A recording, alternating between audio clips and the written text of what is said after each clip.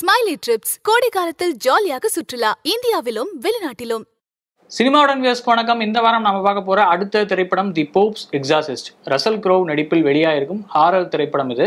ஏன்னா Russell Grove மாதிரியான ஒரு பெரிய ஆக்டர் ஒரு பேய் படத்தில் நடிக்கிறார் அப்படிங்கும்போது நமக்கு ஒரு சுவாரஸ்யம் அதுலேயே வந்துடுது ஏன்னா அப்படி ஒரு பேய் கதையை வந்து அவர் கன்வின்ஸ் பண்ணி எடு நடிக்க வச்சிருக்காங்க அப்படிங்கிற போது அந்த கதையில் என்ன இருக்கும்? அந்த கதை வந்து ஒரு வித்தியாசமான ஒரு ஹாரர் படமா இருக்குமா? அப்படிங்கிற ஒரு எதிர்பார்ப்புலாம் நமக்கு வரும். இந்த படத்தோட ட்ரெய்லர் பார்த்தப்பே தெரிஞ்சது வேட்டிகன் சம்பந்தப்பட்ட ஒரு கதையாகவே இது வந்திருக்கு அப்படிங்கிறது. இந்த படத்தோட ட்ரெய்லர் பார்த்துட்டு வேட்டிகன் தரப்புமே கொஞ்சம் அதிருப்தி திருப்தி தெரிவித்ததா செய்திகள் வந்து வந்துச்சு. அதாவது ஒருவேளை இது வந்து அவங்கள பற்றின ஒரு தவறான விஷயங்களை வந்து முன்வைக்குமோ அப்படிங்கிற ஒரு கேள்வியும் வந்துச்சு. ஏன்னா டான் ப்ரௌன்லேருந்து பல எழுத்தாளர்கள் அவங்க எடுத்த அவங்க அவங்க கதைகளை படமாக எடுத்த இயக்குனர்கள் எல்லாருமே அந்த மாதிரியான சம்பவங்கள் பண்ணியிருக்கிறதுனால மேபி அந்த ஃபீல் வந்திருக்கலாம். ஸோ போப் சிகாசிஸ்ட் அப்படிப்பட்ட ஒரு கான்ட்ரவர்ஷியலான படமாக இருக்கா இல்லையா அப்படிங்கிறத இந்த ரிவ்யூவில் தெரிஞ்சுக்கலாம். அது இல்லாமல் படமாக எப்படி இருந்துச்சு அப்படிங்கிறதையும் பார்த்துடலாம். வாங்க ரிவ்யூக்குள்ளே போகலாம். படத்தோட ஒன்லைன் என்னன்னு தெரிஞ்சுக்க முன்னாடி யாரெல்லாம் நடிச்சிருக்காங்க அப்படிங்கிறத பார்த்துடலாம் ரசல் க்ரோ முக்கியமான ஒரு டைட்டில் ரோலில் ஃபாதர் கேப்ரல் அமோர்தா வந்து வந்துட்டு போகிறாரு அதுக்கப்புறம் டேனியல் ஜொவேட்டா அவருக்கு ஃபாதர் எஸ்கேபிள் அப்படிங்கிற ஒரு முக்கியமான கதாபாத்திரம். இவங்களை தவிர அலெக்சேசோ ஃப்ராங்கோ நீரோ அப்படிங்கிற சில நடிகர்களும் நடிச்சிருக்காங்க. இவங்களாம் தாண்டி ஏமியா வர லாரல் மார்ஸ்டன் அப்புறம் வந்து அந்த சின்ன பையன் ஹென்ரியா வர பீட்டர் டிசோசா உள்ளிட்டவங்களும் ஒரு சிறப்பான பெர்ஃபார்மன்ஸ் தான் கொடுத்துருந்தாங்க. அந்த ஹென்ரி அப்படிங்கிற அந்த சின்ன பையனோட கதாபாத்திரம் தான் இந்த கதையோட ஒரு முக்கியமான பார்ட் அப்படின்னே சொல்லலாம். படத்தோட ஒன்லைன் என்ன அப்படின்னு பார்த்தா ஃபாதர் கேப்ரியல் அமோர்த் அப்படிங்கிறவர் தான் வேட்டிக்கனோட சீஃப் எக்ஸாசிஸ்டாக இருக்காரு. அது பேய் ஓட்டுறவர். ஸோ அவருக்கு ஸ்பெயினில் இருக்கிற ஒரு பையனுக்கு ஒரு கேஸ் இருக்குது அதாவது என்னன்னா ஸ்பெயினில் ஒரு பையனுக்கு வந்து பேய் பிடிச்சிச்சு அப்படிங்கிற ஒரு தகவல் வருது. ரொம்பவே சேலஞ்சிங்கான ஒரு விஷயமா இருக்குது அந்த பையனுக்கு வந்து பேயை ஓட்ட முடியல அப்படிங்கிற தகவல் கிடைச்சோன்னே வேட்டிகன் வந்து இவரை அதாவது ஸ்டார்டிங்கில் இருக்கிற போப் வந்து இவரை அங்கே அனுப்புகிறாங்க ஸோ அங்கே போய் அந்த பையனுக்கு ஹெல்ப் பண்ணி அந்த பையனை வந்து ஹீல் பண்ண ட்ரை பண்ணுறாரு அப்போது வேட்டிக்கன் சம்மந்தப்பட்ட ஒரு ரகசியமும் வெளியே வருது. அது ஒரு பல நூற்றாண்டு கால ஒரு கான்ஸ்பிரசி வந்து வெளியே கொண்டு வருது அப்படின்னே சொல்லலாம்.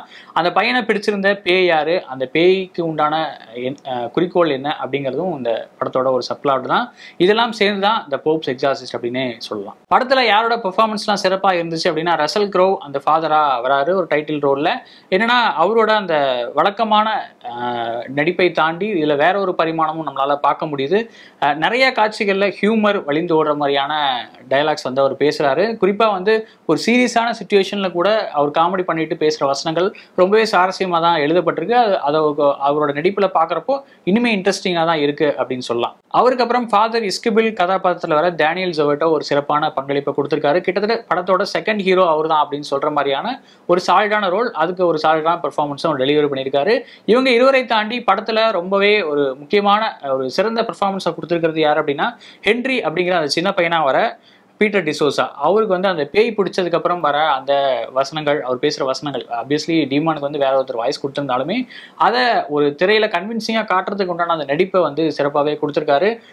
ரொம்பவே உடல் மெலிஞ்சு அந்த ஒரு பேய் பிடிச்ச அப்படி அந்த மேக்கப் எல்லாம் பண்ணியிருப்பாங்க இல்லையா? அந்த மாதிரியான ஒரு மேக்கப் எல்லாம் தாங்கி ஒரு சிறப்பான நடிப்பை கொடுத்த அந்த பையனுக்கு ஒரு பாராட்டுகள் அப்படின்னே சொல்லலாம். இவங்களை தாண்டி அந்த ஹென்ரி பையனோட சகோதரியா வர ஏமி அதாவது லாரல் மாஸ்டன் அவங்களும் அவங்களோட தாயாராக வர ஜூலியா அதாவது அலெக்ஸ் எசோ அவங்களுமே வந்து ஒரு சிறப்பான நடிப்பை தான் கொடுத்துருக்காங்க. இரண்டு கதாபாத்திரங்களுமே கதைக்கு ஒரு முக்கிய பங்காற்ற ஒரு வி- ஒரு விஷயமா இருந்தது வந்து ஒரு பாராட்டுக்குரிய. படத்தோட பாசிட்டிவ்ஸ் என்ன அப்படின்னு பார்த்தா குறிப்பாக ஹாரர் படங்களில் நம்ம வந்து ஒரு ரெண்டு வகையை வச்சுக்கலாம். ஒன்று வந்து இந்த ஜம்ப் ஸ்கேர்ஸ் நிறையா வச்சு இந்த காஞ்சூரிங் டைப்பில் இல்லை அனபெல் டைப்பில் வர படங்கள். அதாவது ஒவ்வொரு காட்சியுமே நம்ம திரிக்கிட வைக்கும். அடுத்து என்ன ஒரு பேய் எங்கேருந்து வரும்? இல்லை அந்த ஒளி அதை வச்சு விளையாடுவாங்க சவுண்டை வச்சு. ஸோ அந்த மாதிரியான படங்கள் ஒரு வகை அப்படின்னு வச்சுக்கிட்டா இன்னொரு வகை வந்து ஆரியஸ்டர் டைப் ஆஃப் ஃபிலிம்ஸ் அதாவது ஆரியஸ்டர் டைரக்டர் இருக்கா இல்லையா? அவர் எடுத்த படங்கள் டைப் ஆஃப் ஃபிலிம்ஸ் அப்படின்னே சொல்லலாம். ஹெரிடிட்ரி மாதிரியான படங்கள். அதாவது கதையே நம்மளை வந்து ஒரு பயப்படுத்துகிற மாதிரியான ஒரு விஷயமா இருக்கும். நம்மளை வந்து ஒரு திகில் அடைய செய்கிற மாதிரியான ஒரு கதையாக இருக்கும். அதை தாண்டி ஜம்ப் ஸ்கேர்ஸ் அப்படிங்கிறது பெருசாக இல்லைனாலுமே அந்த படம் முழுகவே ஒரு அமானுஷ ஃபீல் வந்து நமக்கு இருந்துகிட்டே இருக்கும். ஒரு பதை பதைப்பு நமக்கு இருந்துட்டே இருக்கும். அந்த மாதிரியான படங்கள் ஒரு வகை அப்படின்னு சொல்லலாம். இந்த இரண்டு வகைக்கும் நடுவில் தான் இந்த போப்ஸ் எக்ஸாசிஸ்டை வைக்கலாம் அப்படின்னு நான் நினைக்கிறேன். ஏன்னா ஜம்ப் ஸ்கேர்ஸ் அப்படிங்கிறது பெருசாக இல்லைனாலுமே கதை மட்டுமே பிரதானம் அப்படின்னு நகர்ற ஒரு படமாக இது இருக்குது ஜம்ப் ஸ்கேர்ஸ் வந்துட்டு போனாலும் அதை பிரதானமாக வைக்காம கதை தான் முக்கியம். ஏன்னா கதையில் ஒரு பெரிய கான்ட்ரவர்சி இருக்குது இல்லை ஒரு கான்ஸ்பிரசி இருக்கு அப்படிங்கிற மாதிரியான ஒரு நோக்கத்தில் தான் இந்த படத்தை வந்து எடுத்திருக்காங்க. ஸோ அது வந்து அந்த ரெண்டு கிராஃபையும் மெயின்டைன் நடுவில் மெயின்டைன் பண்ணுற ஒரு படமாக இது இருக்குது அப்படிங்கிறது ஒரு சுவாரஸ்யமான விஷயமா இருக்குது அப்படின்னு சொல்லலாம். ஆர்ஆர் படம் அப்படின்னு ஒரு டெம்ப்ளேட்டான விஷயங்கள் இதுலயுமே இருக்குதான் அதாவது ஒரு பழைய வீடு இருக்கு அந்த பழைய வீட்டுக்குள்ள ஒரு குடும்பம் போகுது அந்த குடும்பத்துக்கு அப்புறம் ஒரு ஆஹ், அங்க ஒரு ஹாரர் இன்சிடென்ட் நடக்குது அதுக்கப்புறம் வரிசையா வர சம்பவங்கள் அப்படிங்கிறது தான் டெம்ப்ளேட்டா இருக்கும். அதே டெம்ப்ளேட் தான் இந்த படத்துல இருக்கு அதுல மாற்றுக்கிறது இல்லை. பட் அதை தாண்டி பின்புலத்துல வேட்டிக்கன் அப்படிங்கிற அந்த அமைப்பு அப்புறம் அதை சுற்றி நடக்கிற அந்த கான்ஸ்பிரசி அவங்க மறைச்சு வைக்கிற ரகசியம் என்ன? இதெல்லாமே இந்த படத்துலையும் ஒரு முக்கிய பங்காற்றுது. முக்கியமாக போப்பாண்டவர் அவரோட விஷயங்கள் அப்புறம் அவருக்கு உண்டான அந்த அரசியல் விஷயங்கள் அப்புறம் வந்து அந்த முக்கியமாக அந்த போப்ஸ் எக்ஸாசிஸ்ட் அதாவது வேட்டிக்கனோட தலைமை எக்ஸாசிஸ்டாக வர அந்த கதாபாத்திரம் சந்திக்கும் அரசியல் பிரச்சனைகள் உள்ளிட்ட பல விஷயங்களை இந்த ஹாரர் படம் வந்து பேசியிருக்கு. அது வந்து ஒரு வித்தியாசமான ட்ரீட்மெண்ட்டில் இருக்குது அப்படின்னே சொல்லலாம். அதாவது யூஸ்வலான ஹாரர் டெம்ப்ளேட்லேருந்து இந்த படத்தை தனித்து நிற்க வைக்கிறது அந்த விஷயங்கள் தான் அப்படின்னு சொல்லலாம். படத்தோட இன்னொரு பாசிட்டிவ் ஃபாதர் கேபிள் அமோர்த் அப்படின்னு உண்மையான வாழ்ந்த ஒரு மனிதரோட கேஸ் ஃபைல்ஸை வச்சு தான் இந்த படத்தை வந்து எடுத்திருக்கிறதா விளம்பரப்படுத்தியிருக்காங்க. பட் அதை தாண்டி படத்தில் பேசப்பட்டிருக்கிற சில பகுத்தறிவு விஷயங்கள் ரொம்பவே ஆரோக்கியமானதாக இருக்குது அப்படின்னு நினைக்கிறேன். ஏன்னா பெரும்பாலான பேய் பிடித்த கேஸ்கள் அப்படின்னு எடுத்துக்கிட்டா நம்ம வந்து ஒரு நைன்டி எயிட் பர்சன்ட் அதாவது ஒரு தொண்ணூத்தெட்டு சதவீதம் அவங்க வந்து அவங்களுக்கு ஏதாவது ஒரு மனநல பிரச்சனையாக தான் இருக்கும். அவங்களுக்கு வந்து நிஜமாவே பேய் பிடிச்சிருக்காது ஒரு மனநல பிரச்சனை இருக்கும். அந்த மனநல பிரச்சனைக்கு ஒரு தீர்வு சொல்லிட்டா அது வந்து அவங்களுக்கு சரியாயிரும் அப்படிங்கிற ஒரு விஷயமா இருக்கட்டும். அப்புறம் அந்த இரண்டு பர்சன்ட் தான் வந்து உண்மையாவே பேய் பிடிச்சிருக்கும் அப்படிங்கிற மாதிரியான ஒரு டைலாக்லாம் வந்து வந்துட்டு போகுது. அதெல்லாமே கொஞ்சம் பகுத்தறிவு பக்கம் கதையை திருப்புற மாதிரி தான் ஒரு ஃபீல் ஆச்சு ஆரம்பத்தில். ஸோ அது வந்து கொஞ்சம் இந்த படத்துக்கு ஒரு பாசிட்டிவாக இருந்துச்சு அப்படின்னு நினைக்கிறேன். அந்த வகையில் ஜூலியஸ் வெரி டைரக்டர் அவரோட அந்த பெர்ஸ்பெக்டிவ் ஒரு பாராட்டப்பட வேண்டிய ஒரு விஷயமா இருக்கு. படத்துல இதெல்லாம் பெட்டரா இருந்திருக்கலாம் அப்படின்னு யோசிச்சா என்னன்னா செகண்ட் ஆஃப் அதாவது இரண்டாம் பார்ட் அப்படின்னு செகண்ட் ஆக்ட் அப்படின்னு கூட வச்சுக்கலாம் இல்ல ஒரு டுவர்ட்ஸ் தி எண்ட் அந்த தேர்ட் ஆக்ட் அப்படின்னு கூட வச்சுக்கலாம். இது இரண்டுமே முதல் பாதி கொடுத்த அந்த சுவாரஸ்யத்தை வந்து தக்க வைக்காம போயிடுச்சு அப்படிங்கிற ஒரு ஃபீல் மட்டும்தான். என்னன்னா ஆரம்பத்தில் ஒரு நமக்கு ஒரு சுவாரஸ்யம் வருது. இந்த இந்த பையனை பிடிச்சிருக்கிற பே என்ன அது அதோட நோக்கம் என்ன அப்படிங்கிற தெரிஞ்சுக்கிறதுக்கான ஆர்வம் நமக்குமே வருது. பட் போக போக இதுதான் அந்த பேய் இதுதான் அதோட குறிக்கோள் இதெல்லாம் தான் அதோட பிரச்சனைகள் அப்படின்னு போகும்போது ரொம்ப ஒரு மத சார்பற்ற ஒரு படமாக இது மாறிடுச்சோ அப்படிங்கிற ஒரு ஃபீல் வந்துடுச்சு. ஏன்னா அந்த வேட்டிக்கனோட ரகசியம் என்ன?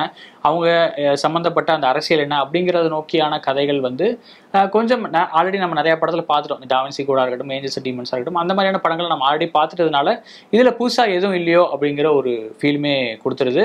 குறிப்பாக அந்த வீடு அந்த ஒரு ஆபியில் வந்து இந்த ஹாரர் இன்சிடென்ட் வந்து நடக்குது அப்படிங்கும்போது அந்த ஆபியில் வந்து ஒரு ரகசிய அறை இருக்குது அந்த ரகசிய அறைக்குள்ளே ஹீரோவும் அந்த துணை ஹீரோவும் வந்து உள்ளே போகிறாங்க அது பார்த்தா போய்கிட்டே இருக்குது ஒரு அறை மாதிரி அப்படியே நிறைய விஷயங்கள் உள்ளே போய்கிட்டே இருக்குது அதில் எல்லா அறைக்கும் ஒவ்வொரு வரலாறு இருக்குது அதில் அதில் வர கதாபாத்திரங்கள் என்ன அவங்களோட பின்கதை என்ன அப்படிங்கிறது நம்ம ரொம்ப ரொம்ப பிரீச்சியாவே சொல்லிட்டு போறாங்க. அந்த இடத்துல வெறும் வசனங்களால் மட்டும்தான் அந்த படம் நம்பி இருக்கு அப்படிங்கிற ஒரு ஃபீல் வந்து வந்துருது. அந்த இடத்துல இன்னும் கொஞ்சம் விஷுவலாக விளாண்டுருக்கலாமோ அப்படிங்கிற ஒரு ஃபீல் இருந்துச்சு பொதுவாக ஹாலிவுட் படங்கள்லாம் நம்ம பெருசாக அதில் டெக்னிக்கலாக எதுவுமே குறை சொல்லாத மாதிரி தான் இருக்கும். இந்த படத்துலேயே அந்த மாதிரி தான் ஆர்ட் டைரக்ஷன்லேருந்து சினிமோட்டோகிராஃபி பண்ண காலேஜ்லேருந்து எல்லாருமே ஒரு சிறப்பான பங்களிப்பு தான் கொடுத்துருக்காங்க. முக்கியமாக அந்த ஆபி அந்த பேய் பிடிக்கிற இடம் அந்த வீடு இருக்கு இல்லையா? அதை உருவாக்குன அந்த ஆர்ட் டீமுக்கு வந்து ஒரு நிச்சயமாக ஒரு பெரிய அப்ளாஸ் அதை தாண்டி படத்தில் இருக்கிற ஒரு பெரிய சிக்கல் என்ன அப்படின்னு பார்த்தா ஜெட் கார்சலோட மியூசிக் அப்படின்னே சொல்லலாம். என்னன்னா இப்படியான ஒரு ஹாரர் படத்துக்கு ஏற்ற பிஜிஎம் வந்து அவர் கொடுக்கலையோ அப்படிங்கிற ஒரு ஃபீல் இருந்துச்சு. என்னதான் ஜம்ப் ஸ்கேர்ஸ் இல்லை அப்படின்னாலுமே அந்த படத்தை ஒரு ஹாரர் படத்தை சேவ் பண்றது அதுக்கான மியூசிக்காக தான் இருக்கும் அப்படிங்கும்போது அந்த மியூசிக்ல இன்னும் கொஞ்சம் பெட்டரா ஒர்க் பண்ணிருக்கலாமோ அப்படிங்கிற ஒரு ஃபீல் இருந்துச்சு. அடுத்து இப்போ எப்படி காஞ்சூரிங் வந்து ஒரு ரியல் லைஃப் கேஸ் ஃபைல்ஸை பேஸ் பண்ணி தான் எடுத்திருக்கோம் அப்படிங்கிற மாதிரி டேக்லைனோட விளம்பரப்படுத்த பிடிச்சோ இந்த படம் அதே மாதிரி ஒரு கேரக்டரோட ஃபைல்ஸ் தான் அப்படிங்கிற மாதிரியான விளம்பரமும் வைக்கப்படுது. பட் அதை தாண்டி இந்த கதையில நம்பகத்தன்மை இருக்கா அப்படிங்கிற ஒரு சின்ன கேள்வியுமே இருக்குது என்னென்னா வேட்டிகன் அப்படிங்கிற ஒரு அமைப்போட அந்த ரகசியம் வெளியே வருது. அந்த ரகசியத்தை வந்து அவங்க இங்கே வச்சிருக்காங்க. அந்த ரகசியம் என்ன அப்படிங்கிறதும் பெரிய கான்ட்ரவர்சிலாம் ஒன்றுமே இல்லை. அதுக்கு ஏன் இவங்க வந்து இவ்வளோ மறைச்சி வைக்கிறாங்க? ஏன் வந்து இவ்வளோ அதை வந்து ஒரு அரசியல் விஷயமா பார்க்குறாங்க அப்படிங்கிறதுக்கும் ஒரு சால்டான ஸ்டஃப் வந்து படத்தில் இல்லை அப்படின்னு நினைக்கிறேன். ஒரு இயல்பான ஒரு சின்ன ஒரு கான் கான்ஸ்பிரசி ஒரு அப்படிங்கிற மாதிரியான விஷயமா தான் அது கடந்து போகுது அப்படிங்கிறது ஒரு மைனஸ் மொத்தத்தில் இந்த போப்ஸ் எக்ஸாசிஸ்ட் ஒரு ஜம்ப் ஸ்கேர் படமா அப்படின்னா இல்லை ஒரு கதைக்கு பிரதானம் கொடுத்து நட நகர்ற படமா அப்படின்னு கேட்டால் கிட்டத்தட்ட ஆமா அப்படின்னு தான் சொல்ல முடியும். உங்களுக்கு ஹாரர் ட்ரீட்மெண்ட்ல ஒரு ஹா- நல்ல ஒரு ஹாரர் ஸ்டோரி பார்க்கறதுக்கான இன்ட்ரெஸ்ட் இருந்துச்சுன்னா இந்த படம் உங்களை ஒரு வேலை இம்ப்ரெஸ் பண்ணலாம். பட் நான் வந்து இந்த ஓவரா இந்த மத சடங்குகள் இந்த மாதிரியான விஷயங்கள் எனக்கு நம்பிக்கை இல்லை. பட் ஒரு நல்ல ஹாரர் படம்னா பார்ப்பேன் அப்படின்னா இந்த இந்த படத்துக்கு உங்களுக்கு ஒரு மிக்ஸ்டு ஃபீலிங்ஸ் தான் கொடுக்கும் அப்படின்னு மைண்டில் வச்சுக்கோங்க. ஒருவேளை இந்த படத்தை நீங்கள் பார்த்துருந்தீங்க அப்படின்னா அந்த உங்களோட ரிவ்யூ என்ன அப்படிங்கிறத கமெண்ட்டில் சொல்லுங்கள் நானுமே தெரிஞ்சுக்கிறேன். வேற ஒரு ரிவ்யூவில் உங்களை மீட் பண்ணுறேன் நன்றி வணக்கம். ஸ்மைலி ட்ரிப்ஸ் கோடை காலத்தில் ஜாலியாக சுற்றுலா. இந்தியாவிலும் வெளிநாட்டிலும் உங்கள் பயணத்தை உடனே திட்டமிடுங்கள். இஎம்ஐ வசதி உண்டு.